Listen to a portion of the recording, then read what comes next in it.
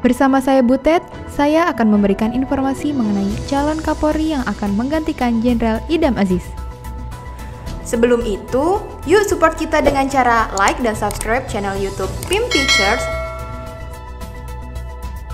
Saat ini peta persaingan penggantian pucuk pimpinan Polri sudah semakin hangat. Beberapa Jenderal Bintang 2 dan Jenderal Bintang 3 berpeluang menggantikan Jenderal Idam Aziz sebagai Kapolri. Siapa kira-kira Kapolri baru pilihan Presiden Republik Indonesia? Yuk kita simak masing-masing peluangnya. Pertama-tama mari kita cari tahu apa yang dimaksud dengan Kapolri. Kapolri merupakan singkatan dari Kepala Kepolisian Negara Republik Indonesia, yaitu jabatan pimpinan tertinggi dalam Organisasi Kepolisian Negara Republik Indonesia atau Polri. Seorang Kapolri dipilih oleh Presiden berdasarkan persetujuan Dewan Perwakilan Rakyat dan bertanggung jawab langsung kepada Presiden. Sejak pertama kali dibentuk, jabatan Kapolri sempat berganti-ganti hierarki dan nama. Mulai dari Kepala Kepolisian Negara atau KKN pada tahun 1945 menjadi Kepala Jawatan Kepolisian Republik Indonesia Serikat pada masa RIS tahun 1950 lalu Kepala Jawatan Kepolisian Republik Indonesia setelah RIS bubar. Pada tahun 1961, Kepolisian Negara menjadi bagian dari Angkatan Bersenjata, sehingga nama jabatan kepalanya diubah menjadi Kepala Kepolisian Negara, lalu Kepala Staf Angkatan Kepolisian Negara.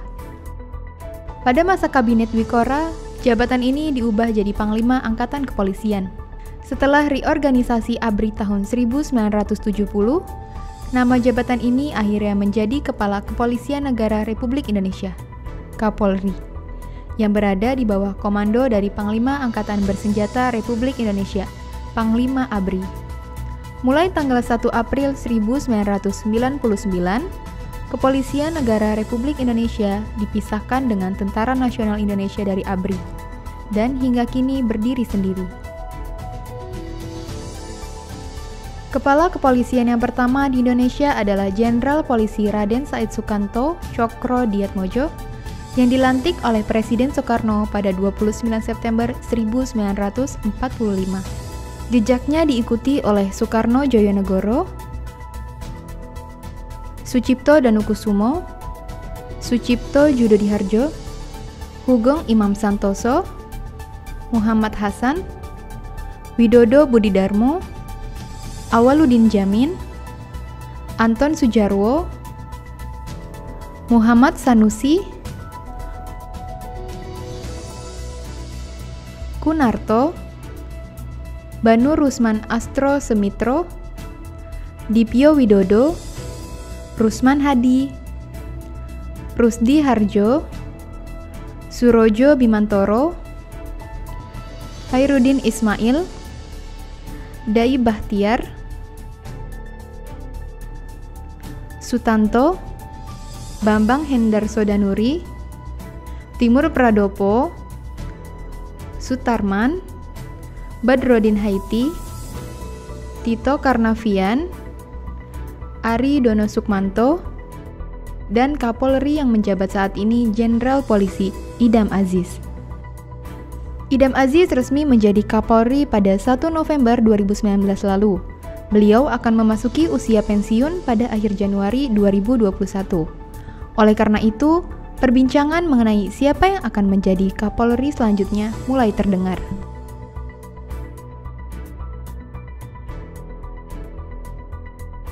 Menurut Edi Hasibuan, Direktur Eksekutif Lembaga Kajian Strategis Kepolisian Indonesia atau LEMKAPI, dilansir dari sulsel1.com, ada syarat bagi calon Kapolri yang diatur dalam Undang-Undang Nomor 2 Tahun 2002 tentang Polri, yaitu bahwa calon Kapolri harus sudah berpangkat Komisaris Jenderal atau Komjen.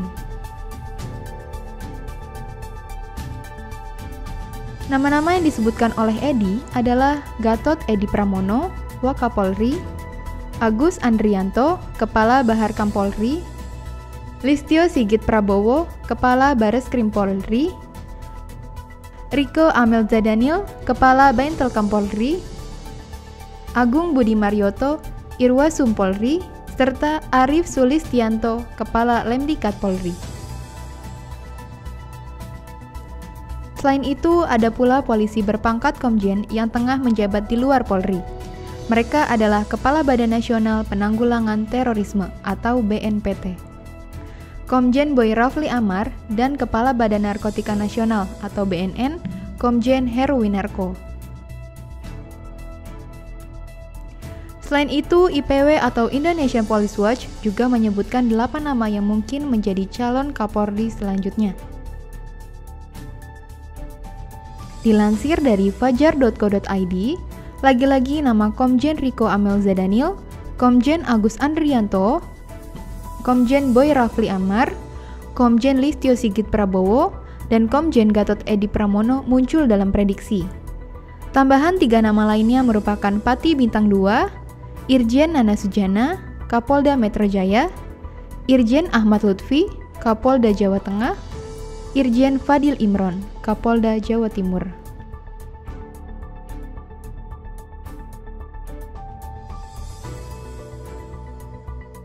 Menurut Neta Espane, Ketua Presidium IPW, kekuatan delapan bakal calon Kapolri ini berimbang. Peluang masing-masing calon dapat terbaca satu bulan menjelang pemilihan.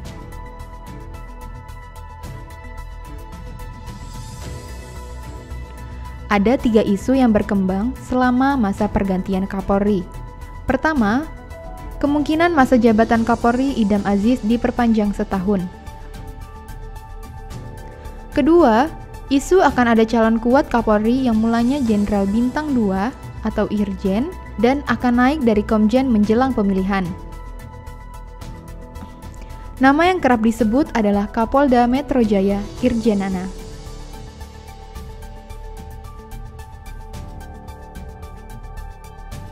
Ketiga, muncul isu bahwa pergantian Kapolri akan dilakukan akhir Agustus 2020, tepatnya setelah pergantian Panglima TNI dan reshuffle kabinet.